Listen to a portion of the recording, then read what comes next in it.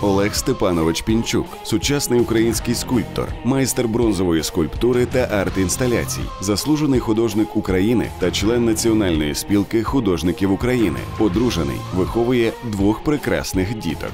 А В житті, в реальному житті, серед реальних людей і завжди прагну е, якось е, знайти найкраще. І треба йти, як кажуть французи, до смов вперед, досягати своїх якихось невеличких вершин.